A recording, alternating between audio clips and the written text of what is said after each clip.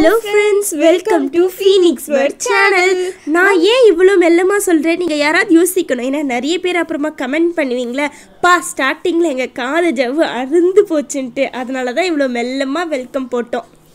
சரி ஃப்ரெண்ட்ஸ் இந்த வீடியோவில் நம்ம எதை பற்றி பார்க்க போகிறோன்னா மார்க்கெட்டிங் ஸ்ட்ராட்டஜிஸ் நிறைய இண்டஸ்ட்ரீஸ் அவங்களுடைய ப்ராடக்டை டெவலப் பண்ணுறதுக்காக பல்வேறு விதமான மார்க்கெட்டிங் ஸ்ட்ராட்டஜிஸை யூஸ் பண்ணுவாங்க.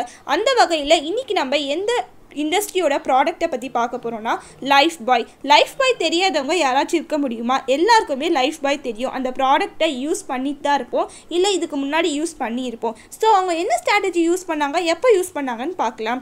Even in two thousand thirteen அப்போது கும்பமேளா அப்படின்னு ஒன்று நடந்துச்சு. இது எல்லாருக்குமே தெரியும். அது ஒரு ரிலீஜியஸ் ஃபெஸ்டிவல் அந்த ஃபெஸ்டிவலுக்கு கிட்டத்தட்ட பத்து கோடி மக்கள் ஒரே சமயத்தில் வந்து கூடுவாங்க. அந்த ஒரு இடத்த அவங்க ரொம்ப நல்லா யூஸ் பண்ணிக்கிட்டோம் அப்படின்ட்டு அந்த கம்பெனி டிசைட் பண்ணுது. ஸோ அவங்க எப்படி அதை யூட்டிலைஸ் பண்ணிக்கிட்டாங்க அந்த பிளேஸ்ன்னு பார்த்துக்கலாம். இப்போ எல்லாருக்குமே அந்த கும்பமேளாவில் ஃபுட்டை சர்வ் பண்ணுவாங்க. ஃபுட்டை சர்வ் பண்ணுறப்போ முக்கியமாக அந்த மாதிரி நார்த் சைடு வந்து சப்பாத்திஸ் தான் நிறைய மக்கள் விரும்பி சாப்பிடுவாங்க.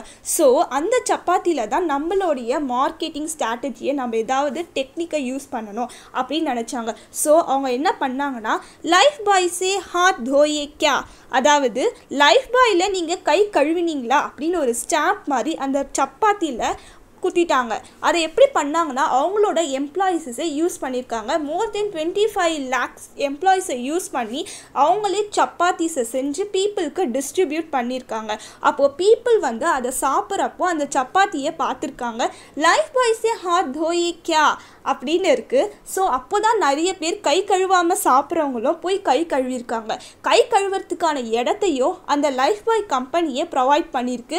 அவங்களும் அந்த லைஃப் பாய் சோப்பை யூஸ் பண்ணி கை கழுவிட்டு அங்கே சாப்பாடு சாப்பிட்ருக்காங்க ஸோ அது மூலியமாக பல பேருக்கு லைஃப் பாய் யூஸ் பண்ணாத மக்களும் நிறைய பேர் யூஸ் பண்ணியிருப்பாங்க. அதை யூஸ் பண்ணி கொஞ்சம் பெட்டராக ஃபீல் பண்ணியிருப்பாங்க. கிட்டத்தட்ட வீட்டுக்கு போய் பத்து கோடியில் ஒரு எட்டு கோடி மக்களாவது மறுபடியும் லைஃப் பாய் சோப் மார்க்கெட்டுக்கு போய் வாங்கியிருப்பாங்க இல்லையா? இதுதான் அவங்களுடைய ஸ்ட்ராட்டஜி இதை யூஸ் பண்ணி தான் அவங்களுடைய பிஸ்னஸை அவங்க டெவலப் பண்ணாங்க. அவங்க ப்ராடக்டையும் நல்லா டெவலப் பண்ணாங்க. இந்த ஸ்ட்ராட்டஜி எனக்கு ரொம்ப பிடிச்சிருந்தது. அதனால தான் நான் அவங்க கூட ஷேர் பண்ணுறேன் இந்த மாதிரி மார்க்கெட்டிங் ஸ்ட்ராட்டஜிஸ் உங்களுக்கு நிறைய வேணும்னா கமெண்ட் பண்ணுங்கள் இந்த ஃபீனிக்ஸ் பர்ட் சேனல் உங்களுக்கு பிடிச்சிருந்தா கண்டிப்பாக ஷேர் பண்ணுங்கள் லைக் பண்ணுங்கள் மறக்காமல் எங்கள் சேனலை சப்ஸ்கிரைப் பண்ணுங்கள் தேங்க்யூ you.